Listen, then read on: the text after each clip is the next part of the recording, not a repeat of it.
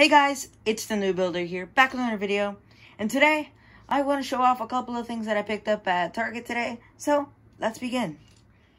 So, of course, obviously I didn't really need these sets, and I just kind of got them for, honestly I don't really know, but for one set I actually got it for a particular reason, and I want to show it off. So yeah, let's begin, for real. Okay, so first up, I'm going to show off the middle set, which is not that big, but it's it's it's a okay size. And I have to say, um, this is Lego Star Wars set, 75268 Snowspeeder. It includes 91 pieces and has two minifigs. For the price of 20 bucks, you get a really small speeder, but it looks pretty nice.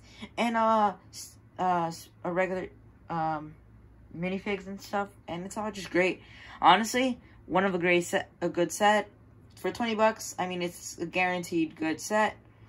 It's not much money, and it's a pretty cool, iconic build from episode 5. So, yeah, that's my first set of the day, and let's move on to the second set. So, up next is the biggest set from the three, and I have to say, um, for the price of 30 bucks, I feel like it's a great set.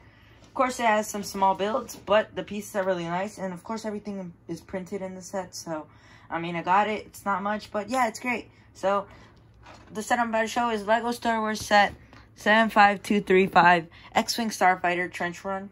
Includes 132 pieces and has 3 minifigs. Of course, the minifig selection is pretty cool. I mean, I have a Luke Skywalker, but I don't have this version of Luke Skywalker. R2-D2, of course, I have like two of those. And that's a the new molded version of the Stormtrooper, so that's a cool one. It's really, really great. I like it. Um, the X-Wing is small, and it just looks great. So let's move on to the last set for today's haul. So this next set is not really for me for now. Well, the point is for this set, I'm planning to give it away at a certain subscriber count. So I, am not exactly sure, but it's LEGO Star Wars set 75267 Mandalorian Battle Pack. And it includes 102 pieces and has four minifigs, of course, like any other battle pack.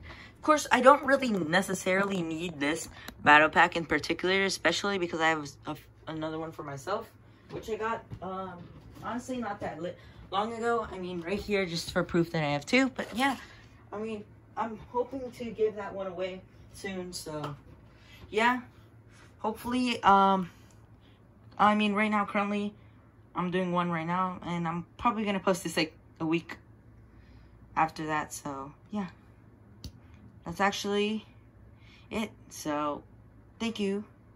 And let's move on to the last segment of the video.